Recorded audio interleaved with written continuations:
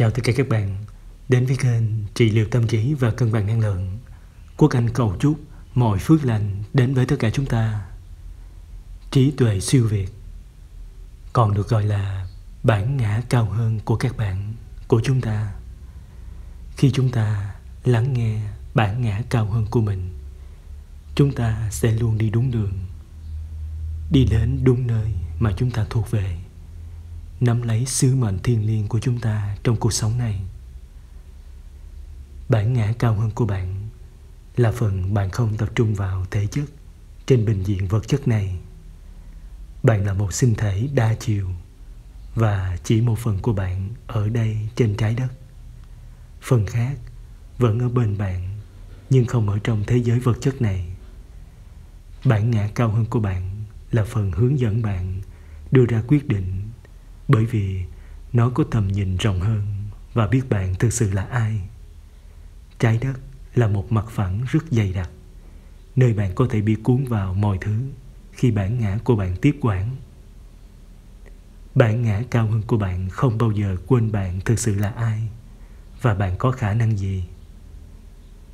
Ngay cả khi bạn không nhận ra điều đó, thì bản ngã cao hơn của bạn vẫn luôn hướng dẫn bạn. Sự thôi thúc để đi theo con đường này, thay vì con đường kia. Biết con đường nào là con đường tốt nhất cho bạn tại thời điểm đó. Bản ngã cao hơn của bạn có thể nhìn thấy tất cả các con đường dẫn đến một điểm đến nhất định. Nếu bạn lắng nghe trực giác của mình và bản ngã cao hơn của bạn, nó sẽ hướng dẫn bạn ngay cả khi điều đó không hoàn toàn hợp lý. Nếu bạn nghe đi nghe lại một bài hát trên radio thì đó là bản ngã cao hơn của bạn đang hướng dẫn bạn. Có thể có một thông báo trên biển số xe trước mặt bạn, hoặc một cái gì đó khác mà bạn tiếp tục nhìn thấy nhiều lần. Hãy chú ý và lắng nghe các dấu hiệu. Bản thân thể chất của bạn không có quyền truy cập thông tin tương tự như bản ngã cao hơn của bạn. Bản thân vật lý của bạn không biết điều gì đó sẽ xảy ra như thế nào, nhưng bản ngã cao hơn của bạn thì có nếu bạn bắt đầu căng thẳng về cách, bạn sẽ hoàn thành điều gì đó. Lúc đó, bản ngã cao hơn của bạn có thể giúp bạn. Ví dụ, bạn đang bắt đầu công việc kinh doanh của riêng mình. Bạn không thể biết tất cả các bước liên quan. Bạn chỉ có thể nhìn thấy các phần của các bước ở phía trước của bạn. Bản ngã cao hơn của bạn có thể nhìn thấy bức tranh toàn cảnh. Đó là lý do tại sao bạn phải tin tưởng nó để hướng dẫn bạn theo hướng tốt nhất cho bạn. Đừng căng thẳng và cố gắng tìm hiểu tất cả mọi thứ, vì bạn sẽ không bao giờ có thể. Bản ngã là bản sắc của bạn về những gì bạn tin rằng bạn đang có. Đó không phải là con người thật của bạn, mà là những gì bạn tin tưởng chính mình. Bản thân cách nó nhìn thấy khác với cách nó thực sự như thế nào? Bản ngã của bạn có thể luôn thay đổi khi bạn thay đổi và phát triển các khía cạnh khác nhau của bản thân. Cái tôi của bạn là phần bạn nghĩ rằng, tôi chơi thể thao giỏi, hoặc là tôi không thông minh lắm. Nó đã xem xét các khía cạnh khác nhau trong cuộc sống của bạn và về cơ bản hình thành ý kiến này về những gì nó quan sát được. Làm thế nào để biết nó là bản ngã hướng dẫn bạn? Bản ngã ẩn sau những ý kiến tưởng như đúng nhưng không phải vậy. Theo một cách nào đó đó là một nhân cách sai lầm về con người thật của bạn. Cái tôi của bạn là cố gắng bảo vệ bạn. Cái tôi của bạn là một phần của bạn nói rằng bạn tốt hơn người khác. Nó đang cố gắng làm cho bạn cảm thấy tốt hơn, nhưng nó có thể đi quá xa. Mọi người đều bình đẳng, không ai hơn ai. Cái tôi cao hơn của bạn biết điều đó. Nhưng cái tôi thì không đừng sợ cái tôi. Bản ngã của bạn sẽ không dẫn dắt bạn làm những gì tốt nhất cho bạn. Tuy nhiên, theo một cách nào đó, nó đang cố gắng bảo vệ bạn. Vì vậy, đừng chống lại nó. Đơn giản chỉ cần cảm ơn vì nó đã làm công việc của nó. Đó là tất cả những gì nó đang làm và đảm bảo rằng bạn luôn đưa ra quyết định từ bản ngã cao hơn của mình. Bạn sẽ biết sự khác biệt qua cách bạn cảm nhận về chúng bạn đang lắng nghe ai? Bản ngã hay bản ngã cao hơn của bạn? Các quyết định của bạn được đưa ra từ cái tôi hay cái tôi cao hơn của bạn? Khi đưa ra quyết định từ cái tôi của mình, bạn có thể cảm thấy sợ hãi hãy làm điều đó vì bất bình hoặc tức giận. Bản ngã có thể cố lừa bạn, nghĩ rằng quyết định của bạn sẽ dẫn đến hạnh phúc hơn. Nhưng nếu nó đến từ bản ngã thì nó không phải là lợi ích cao nhất của bạn. Ví dụ, giả sử bạn có sự lựa chọn giữa việc hẹn hò với hai người khác nhau và một người có nhiều tiền đẹp trai, có một ngôi nhà đẹp và có vẻ rất hợp với bạn. Người kia không nhiều tiền, không hấp dẫn, nhưng là một trong những người đẹp nhất bạn đã từng gặp và bạn có sự gắn ý tuyệt vời. Cái tôi của bạn có thể đưa bạn đến với người có nhiều tiền và vật chất hơn nhưng bản ngã cao hơn sẽ dẫn bạn đến với người, sẽ khiến bạn hạnh phúc hơn, vì nó có thể nhìn thấy toàn cảnh và biết bạn thực sự muốn gì. Khi bạn đưa ra quyết định từ bản ngã cao hơn của mình, bạn không cảm thấy sợ hãi. Bạn biết rằng đó là quyết định đúng đắn cho bạn. Bạn không làm điều đó để khiến người khác khó chịu. Bạn thực sự biết rằng đó là quyết định tốt nhất cho bạn. Quyết định của bạn từ những bản ngã cao hơn cuối cùng dẫn đến hạnh phúc tình yêu và thịnh vượng. Bản ngã cao hơn của bạn có thể nhìn thấy những điều mà bản ngã không thể để ý và tin tưởng vào sự hướng dẫn của nó. Và sau đây, quốc anh sẽ chia sẻ với tất cả các bạn những thông điệp mà phần trí tuệ siêu việt, bản ngã cao hơn của các bạn mong muốn các bạn có thể đón nhận được thông điệp. Thứ nhất, nhiệm vụ của bạn là trở thành con người thật nhất của bạn biết thần tính của chính bạn. Bản ngã cao hơn, hay còn gọi là bậc thầy tâm linh bên trong, có mục tiêu riêng cho bạn. Mục đích là mang bản thể vật chất của chúng ta trên trái đất, trở về nhà. Điều đó có nghĩa là bản ngã cao hơn của bạn, giữ bạn trên con đường phát triển mà bạn đã đồng ý thực hiện trong suốt cuộc đời này. Sự thật là, bạn đã đồng ý với tất cả các bài học cuộc sống của bạn trước khi bạn đến đây biết rằng bạn có thể vượt qua chúng.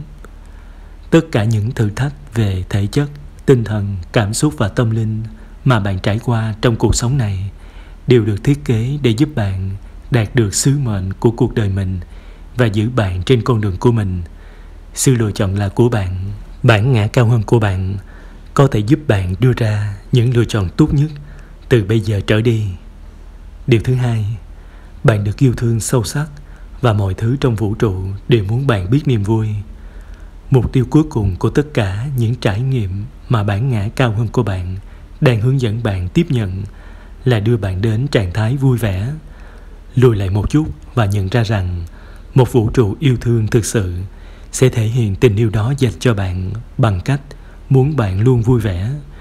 Trước khi bạn đến đích cuối cùng của niềm vui, cuộc hành trình có thể đôi khi khá đau đớn.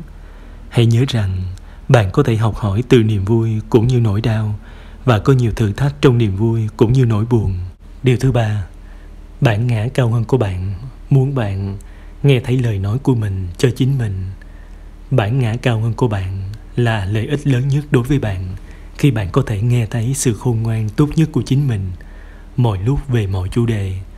Một khi bạn cởi mở với trí tuệ bên trong mình, khả năng những gì bản ngã cao hơn của bạn có thể làm cho bạn thậm chí còn vô hạn hơn sức tưởng tượng của bạn.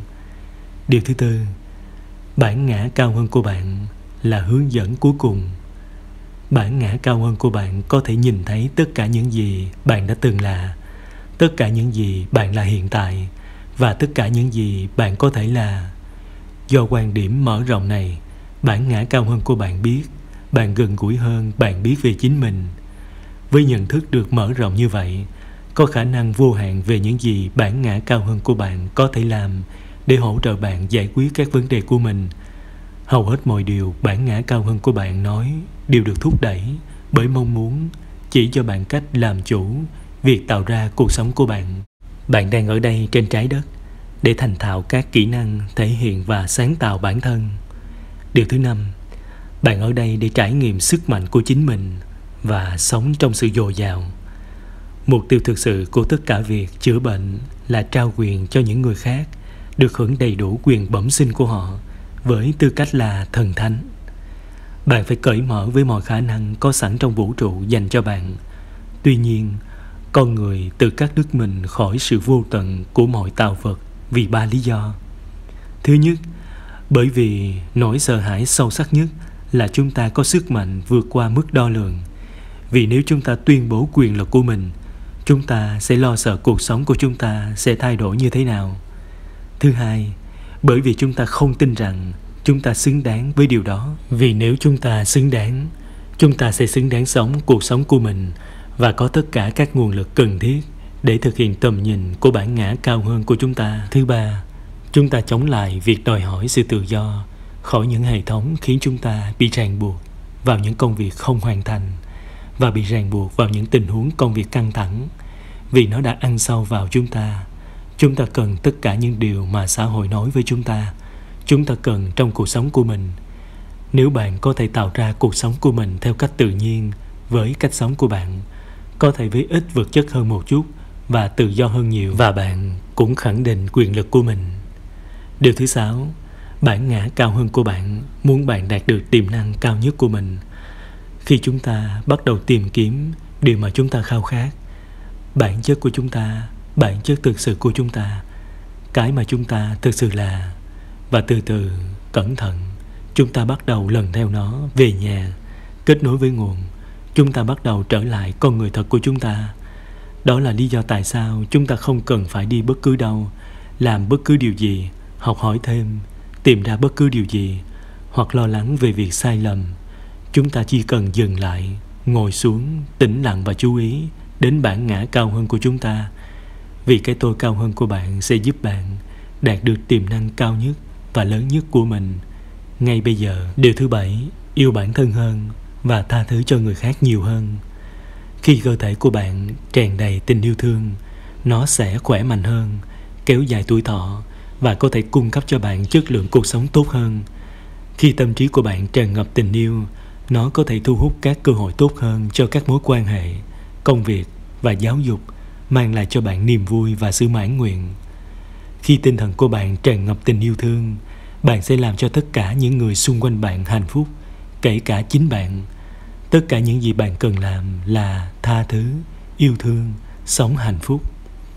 Điều thứ tám bạn không bao giờ cô đơn và bạn không bao giờ tách biệt khỏi bản ngã cao hơn của mình. Vì vậy thường khi mọi người đạt đến mức độ thăng tiến tâm linh cao hơn, họ sẽ bị đánh bại. Thường thì, họ không biết chúng tuyệt vời như thế nào, hoặc họ không thể nhìn thấy những điều họ đang làm. Nếu làm khác đi, có thể biến đổi cuộc sống của họ. Bản ngã cao hơn của bạn đã ở bên bạn kể từ khi bắt đầu và cho đến khi bạn kết thúc thời gian của mình ở cuộc sống trần thế này.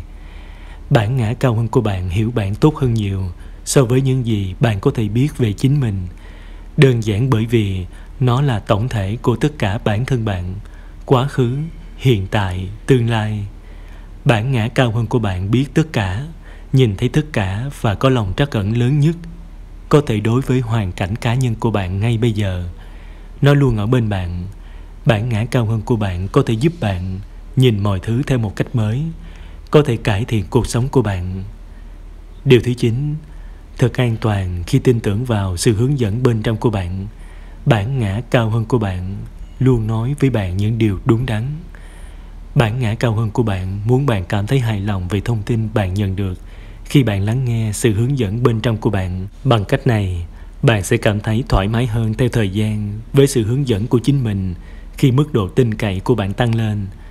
Cách tốt nhất để bản ngã cao hơn của bạn xây dựng lòng tin với bạn là thiết lập một hồ sơ theo dõi về thành công đến từ bạn, theo hướng dẫn nội bộ của chính bạn. Hiểu rằng phải luôn có được sự tin tưởng, bản ngã cao hơn của bạn luôn ở đây để giúp đỡ bạn, đặc biệt là khi bạn đang lắng nghe. Điều thứ 10 Biết sự thật từ một góc nhìn cao hơn. Bản ngã cao hơn của bạn nhìn nhận các vấn đề của bạn ở mức độ sâu sắc hơn bạn. Nhiều khi bạn không thể nhìn thấy bản ngã cao hơn của bạn giống như một chiếc trực thăng bay qua khu rừng và quan sát bạn đi qua mê cung cây cối bên dưới. Nó có thể thấy một cách tốt hơn để hướng dẫn bạn. Nó thậm chí có thể cho bạn biết lý do tại sao khu rừng của bạn lại được sắp xếp như vậy để hướng dẫn bạn tốt hơn trên hành trình cuộc đời của bạn. Có một điều bạn luôn cần ghi nhớ, bạn là người cảm thấy đói khi không có thức ăn, thấy lạnh khi không có nơi trú ẩn và đau đớn khi rơi xuống hố sâu bản ngã cao hơn của bạn không thể cảm thấy những loại đau đớn này. Kết nối với những mong muốn sâu sắc hơn của chúng ta, không liên quan đến việc biết câu trả lời cho tất cả các câu hỏi của chúng ta. Chúng ta có thể thực sự tiếp thu, và chỉ khi tiếp thu, chúng ta mới có thể thực sự khám phá, học hỏi và phát triển. Bạn có thể tự hỏi, tôi phải bắt đầu từ đâu? Tôi bắt đầu như thế nào? Bắt đầu bằng việc trả lời cuộc gọi bên trong, lắng nghe tiếng nói của bản ngã cao hơn của bạn. Sợ thay đổi là điều bình thường, nhưng có nhiều cách để có thể vượt qua nỗi sợ và bắt đầu hành động theo sự hướng dẫn bên trong sẽ dẫn bạn đến cuộc sống tốt đẹp và hạnh phúc. Hãy nắm lấy tình yêu để quay lưng lại với sợ hãi, để quay lưng lại với sự nghi ngờ và tiêu cực, để toàn tâm toàn ý hòa vào mô hình mới của tình yêu của bản thể được đánh thức hãy để tình yêu này lấp đầy bạn và tràn ra ngoài bạn, vào các mối quan hệ của bạn, vào mọi lĩnh vực của cuộc sống, vào ý thức tập thể, vào trái đất. Hãy lấp đầy bản thân bạn với tình yêu, tỏa sáng và yêu thương để mang lại lợi ích cho tất cả. Thông qua chủ đề của video lần này, quốc anh hy vọng rằng đã mang đến cho tất cả các bạn nguồn năng lượng tích cực và những thông tin hữu ích.